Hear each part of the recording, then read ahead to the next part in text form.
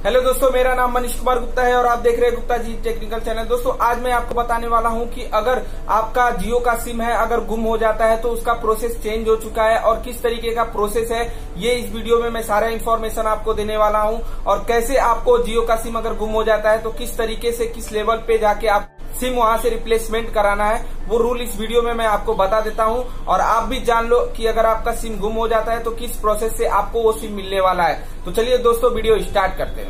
Subscribe नहीं किया तो इस रेड कलर के बटन को दबा के सब्सक्राइब कीजिए और इस घंटे को बजा दीजिए फ्री में लेटेस्ट टेक्नोलॉजी वीडियो सबसे पहले देखने के लिए।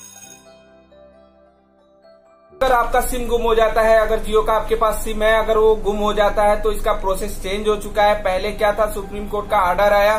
सुप्रीम कोर्ट का ऑर्डर आया कि आप थम लगा के कोई भी सिम नहीं ले सकते हैं। अब यहाँ पे जियो की तरफ़ से आ गया है कि पेपर कैफ आपको भरना होगा। वहाँ पे आपका नंबर लगेगा वहाँ पे आपका आधार कार्ड का फ़ोटो कॉपी जेरोक्स जो भी रहेगा वो वहाँ पे आपके आईडी की प्रूफ पे लगेगा। आप पेन कार्ड भी दे सकते हैं आप ड्राइविंग लाइसेंस भी दे सकते हैं आप आ, आप पासपोर्ट भी दे सकते हैं दोस्तों तो इस तरीके से आपका सिम रिप्लेसमेंट होगा। जो रिप्लेसमेंट करना रहेगा दोस्तों तो इस तरीके का वहाँ पे फॉर्म आएगा। और देखिए यहाँ पे आपका फ़ोटो यहाँ पे आपका फ़ोटो लगेगा।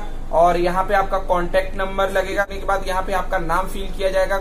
और नाम फिल करने के बाद इस तरीके का कुछ आएगा फॉर्म तो दोस्तों, मैं ये फॉर्म का आपको फ़ोटो दिखा देता हूँ कि किस तरीके का फॉर्म है और आपको बता देता हूँ कि इस फॉर्म में आपको क्या क्या करना है और किस तरीके से आपका जियो का सिम अगर गुम हो जाता है तो आपको जियो स्टोर पे जाके लेना है। तो दोस्तों, इस वीडियो में मैं सारा इन्फॉर्मेशन आपको देने वाला हूँ कि अगर आपका सिम कभी गुम हो जाए या कहीं खो जाए या मिसप्लेस हो जाए या टूट जाए तो आपको किस प्रोसेस से जियो स्टोर पे जाना है और किस तरीके से आपको जियो का सिम रिप्लेसमेंट कराना है। तो दोस्तों, इस वीडियो में मैं सारा इन्फॉर्मेशन आपको देने वाला हूँ। तो दोस्तों, अगर आप जियो स्टोर पे जाते हो, अगर आपका सिम गुम हो जाता है, अगर आपका सिम टूट जाता है, जियो का सिम आपका अगर टूट जाता है, गिर जाता है, या खो जाता है कहीं, या कुछ भी खराब हो जाता है स्क्रेच आ जाते हैं सिम पे, अगर खराब हो जाता है तो आपको जियो स्टोर पे जाना पड़ेगा, एक पासपोर्ट साइज़ फ़ोटो लेना रहेगा और एक आईडी प्रूफ का फ़ोटो कॉपी लेना रहेगा।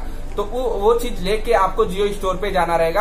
और जैसे आप जियो स्टोर पे जाएँगे, वहाँ पे आपका आईडी लिया जाएगा और एक फ़ोटो लिया जाएगा। लेने के बाद आपसे साइन और आपका कॉन्टेक्ट नंबर लिया जाएगा और उस बेस पे आपको ये सिम दिया जाएगा। तो पहले क्या होता था कि जब फिंगरप्रिंट था, जब सुप्रीम कोर्ट ने मना नहीं किया था, जब सुप्रीम कोर्ट का बैन नहीं था तो आपका सिम पाँच मिनट के अंदर चालू होता था।